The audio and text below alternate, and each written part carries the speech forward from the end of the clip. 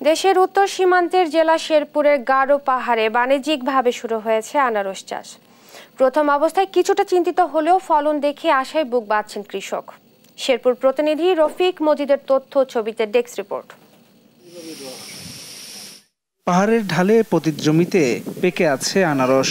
রসে টইটুম্বুর এই আনারস খেতে বেশ সুস্বাদু। ছয় একর জমিতে গত বছরের শুরুতে প্রায় সোয়া লাখ চারা রোপণ করেন স্থানীয় এক কৃষক। রক্ষণাবেক্ষণ, সেচ, সার ও পরিচর্যা বাবদ খরচ হয় প্রায় এগারো লাখ টাকা। তার পুরো বাগান মধুপুরের এক ব্যবসায়ীর কাছে ষোলো লাখ টাকায় বিক্রি করে দিয়েছেন তিনি। ষোলো লক্ষ টাকা খরচ করছি, আমি ষোলো লক্ষ টাকা বিক্রি করেছি। আরও বেশি বেচতে পারতাম এই বন হাতির জন্যে। আমি বেচতে পারলাম না। আমার বন হাতি প্রায় বিশ থেকে পঁচিশ হাজার আনারস। নষ্ট করেছে। প্রথম অবস্থায় স্থানীয়রা পিটারের বাগান দেখে সন্দিহান ছিলেন। পরবর্তীতে ফলন ভালো দেখে গ্রামের মানুষ আশার আলো দেখেন। এখন অনেকেই আগ্রহী হচ্ছেন আনারস চাষে।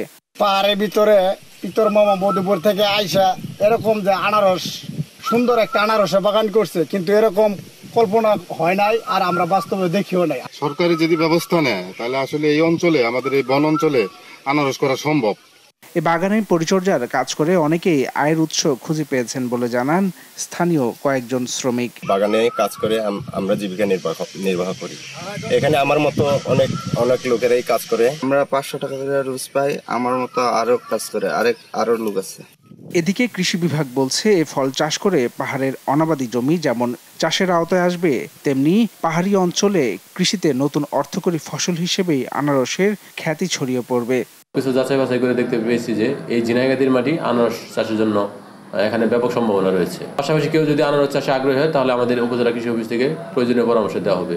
সরকারি পৃষ্ঠপোষকতা এবং হাতির আক্রমণ ঠেকাতে পারলে মধুপুরের পর শেরপুরের গারো পাহাড় হতে পারে আনারসের অন্যতম আবাদস্থল, এমন আশা স্থানীয়দের। News desk Desh TV.